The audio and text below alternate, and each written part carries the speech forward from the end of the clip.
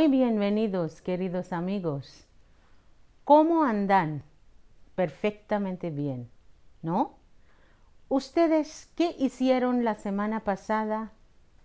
¿Han practicado los ejercicios bien? Ustedes han aprendido los pasados, el perfecto, el indefinido, ¿verdad? Estoy segura que ya tienen bastante confianza. Ahora ustedes pueden hablar, leer y escribir bastante bien en español, ¿verdad? ¿Les gusta practicar español? Estoy segura que ustedes son bastante sinceros e inteligentes. I'm sure, friends, you could understand all that I said now. I'm also sure you're practicing your lessons regularly and doing the exercises given in the lessons. In the last few classes, we have been learning the past tenses in Spanish. Can you tell me which past tense do you use to talk of something that happened this week? Perfecto. O indefinido. Yes, it is perfecto. And indefinido is used to talk about events that are completed in the past, like last week, last year, etc. And we have seen several situations where these tenses were used. Here are some situations wherein both pasados that is indefinido and as well as perfecto are being used. Let us look at them. ¿Has dicho mentiras alguna vez? ¿Has dicho mentiras alguna vez? Sí, dije solo una vez a mi novia. So you understand, decir mentiras is to lie. So somebody asks you, ¿has dicho mentiras alguna vez? And this person, for example, was asked and he replied saying, Sí, dije solo una vez a mi novia. I hope you followed that. ¿Has escrito poemas? ¿Has escrito poemas? No, no he escrito hasta ahora. Hasta ahora no he escrito. If you haven't written so far. Or if you want to say you have written, sí, escribí una vez a mi amante. Yes, I wrote once for my lover. The third situation is, ¿sabes? Ana tuvo un accidente ayer. ¿Sabes? Ana tuvo un accidente ayer. Sí, no me digas. ¿Es algo grave? Afortunadamente no es grave y ella está bien ahora. Menos mal. Another situation could be, anoche me acosté tarde, pero esta mañana me he levantado temprano. Anoche me acosté tarde. So you remember with anoche you always use indefinido. And esta mañana me he levantado temprano. If you look at these micro conversations, you can see both the pasados perfecto as well as indefinido in the sentence.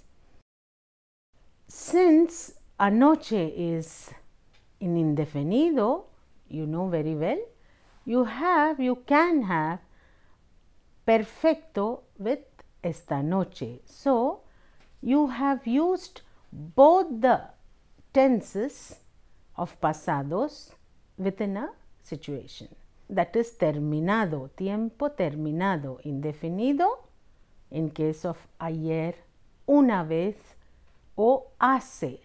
As explained to you before, we use indefinido, alguna vez, todavía, you use perfecto. You can listen to a song by Gloria Estefan on the pasados if you like. She describes pasados very well in her song and it is available in the YouTube.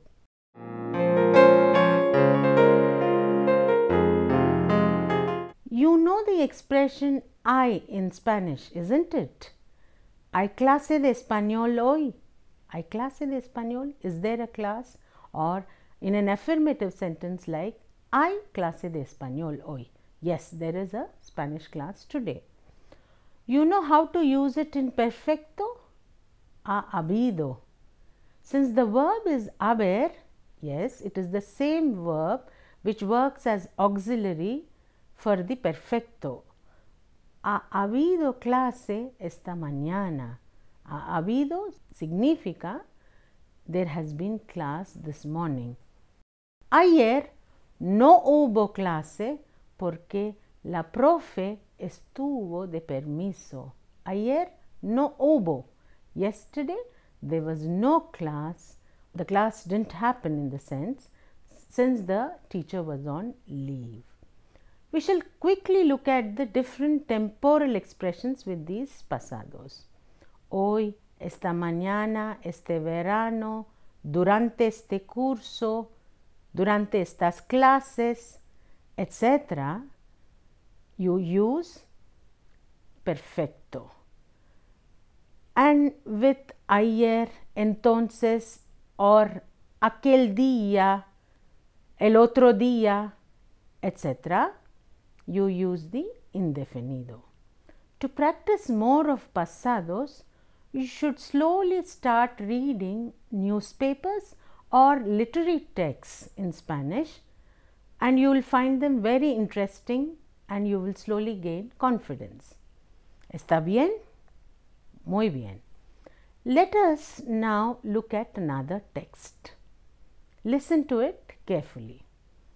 Yo nací en un pueblo pequeño. Mis padres eran campesinos. Trabajaban en un campo de un hacendado. Ellos trabajaban en los campos de cañas de azúcar. No ganaban mucho dinero y por lo tanto no podían enviarme al cole. Yo pasaba todo el día por las calles cuando mis padres trabajaban en el campo. Así era mi niñez. I'm sure you followed quite a bit about the text. Nací en un pueblo pequeño is the verb nacer. In this context, it is an indefinido, right? Since it is an er ending verb, yo is conjugated as nací. Nací, I was born in a small village. The other tenses of the verbs must be really puzzling you. What are the verbs in this text? The other verbs are mis padres eran campesinos. Trabajaban en campos de un hacendado, en los campos de cañas de azúcar. No ganaban mucho dinero. No podían enviarme al cole. Yo pasaba todo el día por las calles. Así era mi niñez.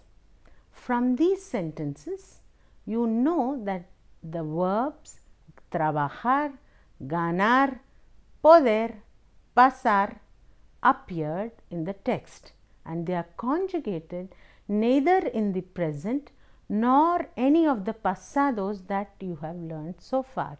That is neither perfecto nor indefinido.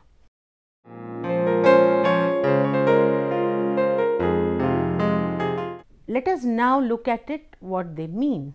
I was born in a small village. Mis padres eran campesinos. My parents were farmers. Trabajaban en campos de un hacendado. They used to work in the fields of an estate owner. No ganaban mucho dinero. They were not earning a lot of money. Por lo tanto, no podían enviarme al colegio and that's why they couldn't send me to the school. Yo pasaba todo el día por las calles cuando mis padres trabajaban en el campo. I used to spend all my time in the streets while my parents were working in the fields. That was my childhood. Do you notice that the past tense that is being talked about here is different from the perfecto and the indefinido? In what way? In this context, it talks about events that happen over a period of time. For example, my parents used to work in the fields. I was not going to school. They were not earning enough money, etc. Bueno, amigos, we continue further our journey with some more of past tenses. The tense that is used in the text we saw now is the imperfecto in Spanish. You have already learned pasado perfecto, pasado indefinido, and now it is pasado imperfecto. We will look at some conversations to know how it functions and how it is used. Here is the first one. ¿Sabes una vez que me pasó? Dime, dime. Estaba en una tienda y no tenía dinero porque llevaba otro bolso. ¿De verdad? Pues nunca me pasó esto. Pues nunca me pasó esto. Or another situation. Cuando era joven tenía muchas novias, pero al fin me casé con una chica que me buscaron mis padres. When I was young, I used to have lots of girlfriends, but eventually I married a girl my parents looked for me.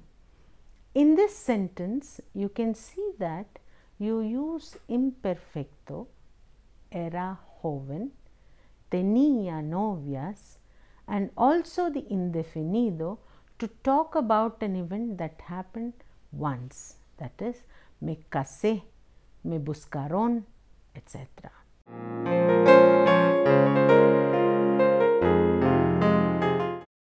Let's take another sentence. Cuando estudiaba en la universidad, nunca faltaba clases. Faltar clases is to miss classes. So, when I was studying in the university, I never used to miss classes. Here is another conversation between a teacher and a student. ¿Qué pasó, Pedro? ¿Por qué has llegado tarde? Siento mucho, señora, es que el tráfico estaba de pena. ¿Ah, ¿Así? Bueno, está bien. The teacher asked Pedro why he was late, and Pedro explained and said, There was a lot of traffic. You could use the expression había mucho tráfico. I, that is, you know, there is or there are, hay mucho tráfico había mucho tráfico. ¿Tienes alguna idea de Gabriel García Márquez? Sí, era un gran escritor. Escribía frases muy largas en sus novelas. Or, in other situation where you're describing your abuelo. ¿Te acuerdas de tu abuelo? Yo no me acuerdo nada de mi abuelo. Murió cuando yo era muy pequeño. Sí, sí, me acuerdo muy bien. Se nos murió hace poco. Era un señor bastante alto, muy majo, y me compraba muchos regalos. Y por las noches siempre me relataba cuentos de mitología. Me encantaba mucho. Before we go to the conjugations of the imperfectos, let us first understand from these conversations where it has been used. In the first instance, it is used in the description of people in the past. Descripción de personas. Mi abuelo era alto, majo. Or if you want to talk about somebody who was very unfriendly, you'll say, era una persona muy antipática. Or you could say, yo estaba muy delgada de niña. In other contexts, it is used to describe events, like describir hechos. Había mucho tráfico en la calle. La policía no estaba. Por eso todo era muy caótico. Todo era muy caótico. You're describing the situation that there was lot of traffic, the police wasn't around and there was lot of chaos. To express an intention as explained in, in the conversation below. Like for example, somebody is picking up the phone and says, See, hola Paco, soy Marta.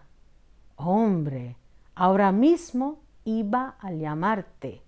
¿Qué tal? Now here iba a llamarte or that is I was going to call you.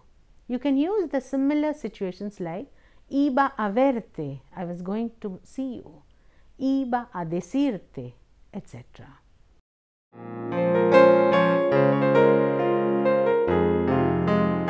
You also use imperfecto to talk about situations in which something happens, like for example, era todo oscuro y de repente oí algo extraño.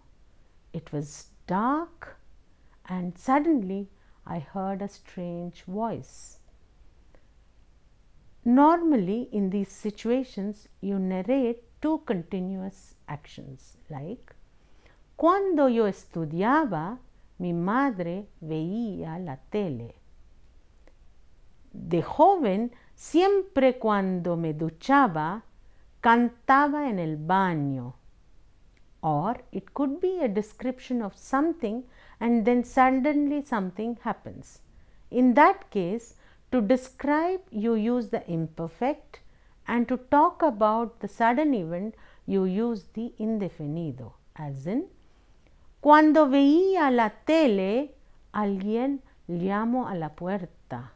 Or, cuando dormía, mi hijo puso la radio en volumen alto.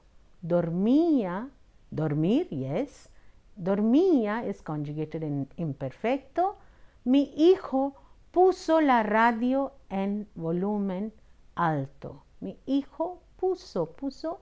You remember in the last class we did poner in indefinido, puso, yes. He put on the radio in high volume. The time markers that you use to talk about imperfecto are cuando, entonces, antes or de with de joven, de niño, de pequeño, etc.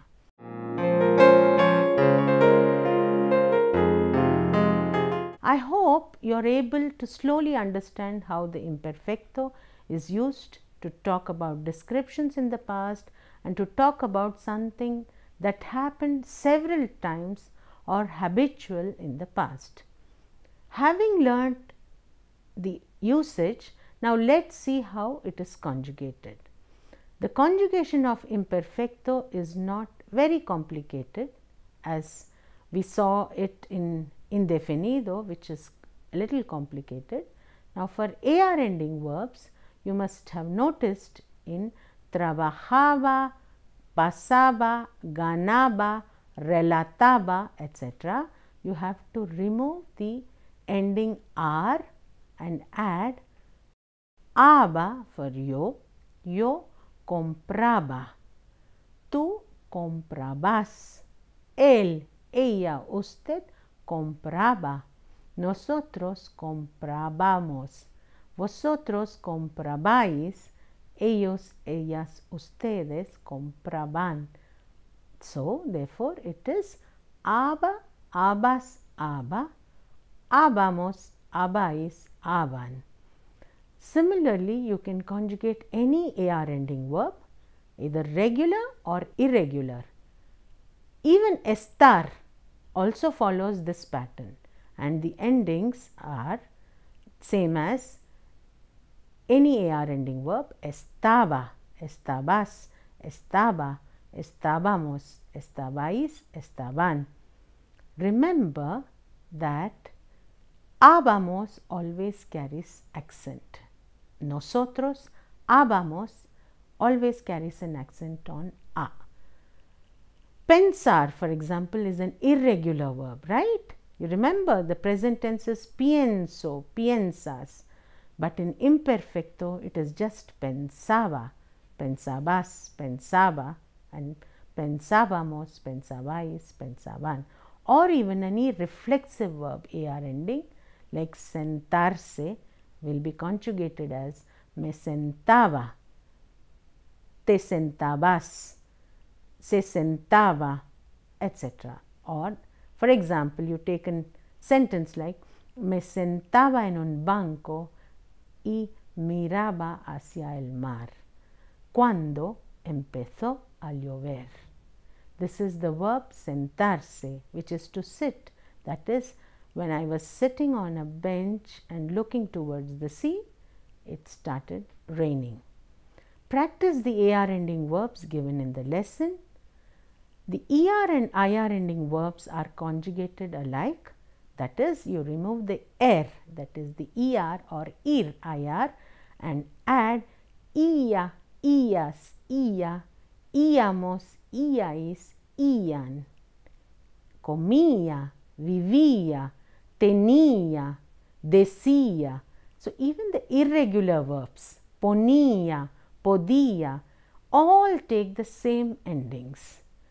The irregular, for example, is ser. Ser is era. Eras, era, éramos, erais, eran. So you say yo soy profesora, yo era profesora. Have you noticed one very interesting thing while learning these conjugations? The yo and the el have the same conjugation. Yo tenía, el tenía. The first and the third person singular are the same. So, depending on the context, one can interpret it whether it is referring to the first person or the third person. So, I am sure now you are confident with the pasados. Almost we have done all the three pasados by now. Practice them. One best way of doing it is comparing something between antes and ahora. Antes, earlier and now. Antes, mi ciudad no era así, pero ahora es you begin like that, you conjugate several verbs, compare it and see how well you can frame sentences with imperfecto. So, that is all for today. More to come, more exciting things I am sure because we are going to do a lot of culture component in the lessons hereafter. So, enjoy learning Spanish. Ya está. Adiós amigos. Suerte. Chao.